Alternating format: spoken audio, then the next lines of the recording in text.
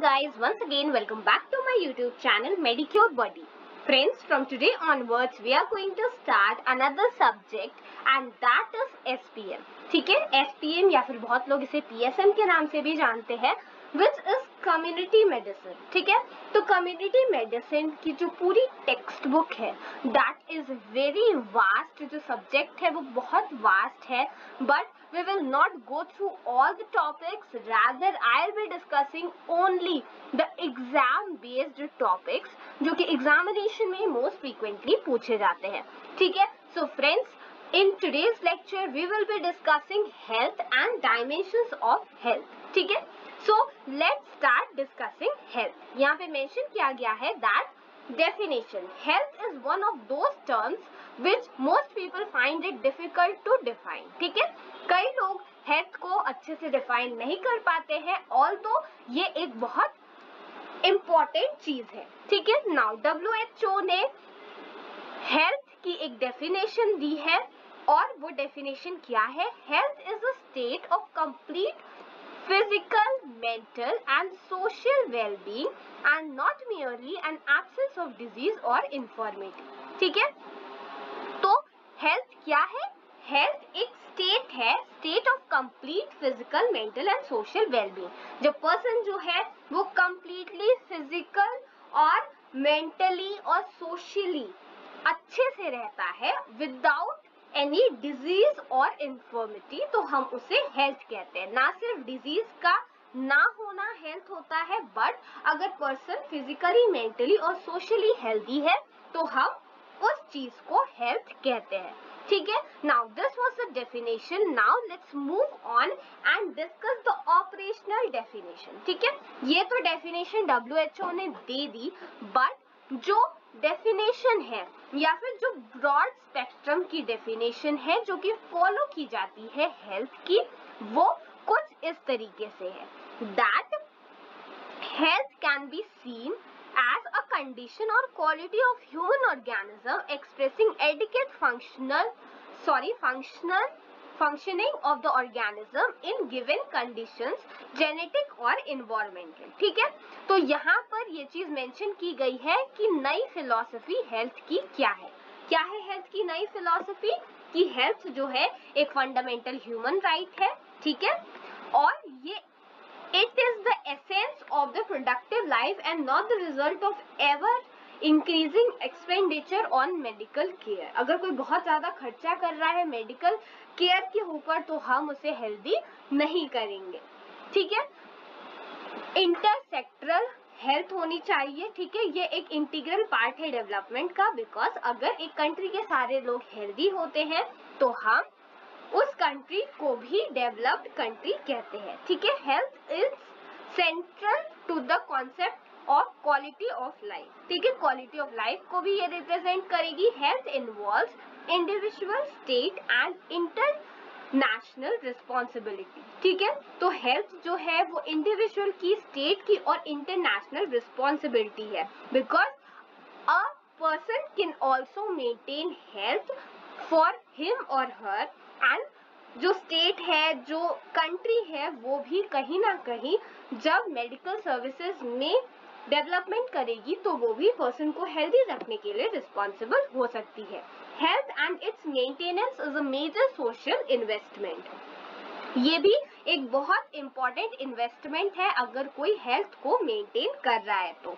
Health is a world wide social goal now nothing can be more important than a person being healthy अगर आपके पास सारी खुशियाँ हैं, सारी नॉर्मल चीज़ें जो लाइफ के लिए इम्पोर्टेंट है, वो सारी चीज़ें हैं but you are not healthy you will not be able to enjoy any aspect of life for that it is a goal that health needs to be maintain now moving on let's discuss the dimension of health ठीक है? So there are many dimension of health here we will be discussing the more important dimensions. First one is physical dimension ठीक है? Health का physical aspect क्या है? कि physical dimension क्या है? दैट अगर एक बॉडी की सेल है, ठीक है? वो अच्छे से अपना काम कर रही है तो हम उसे हेल्थ कहते हैं, ठीक है? तो फ़िज़िकल डायमेंशन को हम परफेक्ट फंक्शनिंग से रिलेट कर सकते हैं। Now let's move on and discuss the mental dimension of health mental dimension क्या होता है? मेंटल डायमेंशन का मतलब होता है अगर कोई पर्सन है जो एक बैलेंस की कंडीशन में है सराउंडिंग वर्ल्ड से और खुद से। दैट मीन्स अगर एक पर्सन है जो मेंटली हेल्दी है, वो सारे अपने जो रिलेशंस हैं रिलेटिव्स के साथ, दूसरे लोगों के साथ, वो मेंटेन कर रहा है अच्छे से so we call that person healthy ठीक है? तो this is a mental dimension of health कि अगर पर्सन के इंडिविजुअल और सराउंडिंग वर्ल्ड के बीच में अच्छे रिलेशनशिप है तो हम उस पर्सन को हेल्दी कहेंगे। ठीक है? Now let's move on and discuss the another dimension of health and that is social dimension. ठीक है? Social dimension क्या है? पर्सन के जो इंटरपर्सनल टाइज है, ठीक है? कम्युनिटी के साथ, वो जहाँ रह रहा है, जिन लोगों के साथ तो हम उसे सोशल डायमेंशन ऑफ़ हेल्थ कहेंगे, ठीक है? तो मेंटल डायमेंशन क्या था कि अगर पर्सन जो है, वो मेंटल स्टेट ऑफ़ हार्मनी में है। मतलब वो डिप्रेस्ड नहीं है, वो किसी चीज़ के बारे में बहुत ज़्यादा परेशान नहीं है बट वो बिल्कुल सुकून की, काम की ज़िंदगी जी रहा है। So that is mental dimension of health social dimension अगर पर्सन के अपने फैमिली मेंबर्स के साथ जहाँ वो काम कर रहा है, वहाँ पे हर जगह अच्छे रिलेशनशिप्स हैं। So we call it social dimension now moving on spiritual dimension क्या है? अगर पर्सन जो है, वो होलिस्टिक एक्टिविटी में इन्वॉल्व है, ठीक है? और वो अगर शांत है, ठीक है? तो पर्सन जो है, वो अपनी होलिस्टिक हेल्थ को अगर मेंटेन कर रहा है तो उसको हम स्पिरिचुअल डायमेंशन ऑफ़ हेल्थ कहते हैं। मतलब अगर पर्सन जो है, उसकी बॉडी उसका mind that is physiology and psychology दोनों अच्छे से कनेक्टेड है we call it spiritual health ठीक है? मूविंग ऑन इमोशनल डायमेंशन ठीक है? तो इमोशनल डायमेंशन क्या होता है? हेल्थ का एक पर्सन इमोशनली हेल्दी है, हम कैसे बताएँगे? तो अगर वो पर्सन जो है, वो अपनी फीलिंग्स के साथ या फिर जो भी उसके माइंड में चल रहा है, वो सारी बातों से अवेयर है, ठीक है? और कोई भी इमोशन उसमें बहुत ज़्यादा एग्जैजरेटेड नहीं है बट वो बिल्कुल नॉर्मल कंडीशन में है so we call that person emotionally healthy ठीक है? उसकी फीलिंग्स अच्छी है, उसका कॉग्निशन अच्छा है, वो लोगों को अच्छे से समझ रहा है तो बेसिकली अगर एक पर्सन मेंटली हेल्दी है या फिर मेंटल डायमेंशन ऑफ़ हेल्थ उसका सही है तो वो इमोशनली भी हेल्दी होगा। Now what is vocational dimension अगर पर्सन जो है, वो फ़िज़िकल वर्क जो है, वो अपनी कैपेसिटी से कर रहा है ठीक है? यहाँ पे क्या लिखा हुआ है? Work is fully adapted to human goals capacities and limitation work of in plays role in promoting both physical and mental health ठीक है?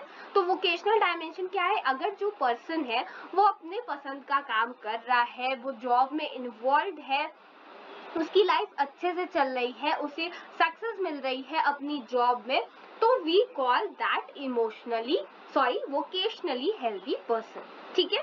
Now there are other dimension of health as well की cultural dimension है socio economic environmental dimension ये सारे dimension को आप खुद से एक्सप्लेन कर सकते हो। एंड ये अगर आप अपने आंसर को और इलाबरेट करना है तो ये सारे पॉइंट्स भी आप उसमें इंक्लूड कर सकते हो कि अगर पर्सन जो है, उसमें सारे न्यूट्रिएंट्स अच्छे से जा रहे हैं तो वो न्यूट्रिशनली हेल्दी है, ठीक है? एजुकेशनल अगर पर्सन जो है, वो एजुकेटेड है, वो सारी बातों को समझता है। So we call it educational dimension environmental dimension क्या है? पर्सन जो है, वो इन्वायरमेंट के साथ अच्छे रिलेशनशिप में है।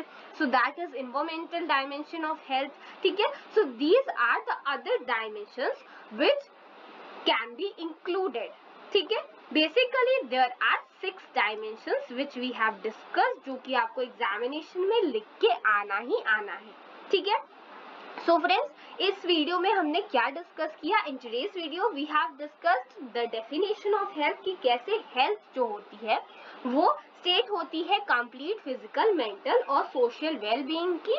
और सिर्फ़ ऐसा ही नहीं होता है कि अगर कोई डिज़ीज़ नहीं है तो हम उसे हेल्दी कहेंगे। And after that we have discuss the various dimensions of health so friends this is it for today's session I hope you enjoyed this video friends अगर आप चाहते हो कि मैं ऐसे ही जो भी एसपीएम के इंपॉर्टेंट टॉपिक्स हैं वो आपके साथ डिस्कस करूँ तो जल्दी से मेडिक्योर बडी को सब्सक्राइब कीजिए एंड इस वीडियो को लाइक करना, अपने फ्रेंड्स और बैचमेट के साथ शेयर करना बिल्कुल मत भूलिएगा। Thank you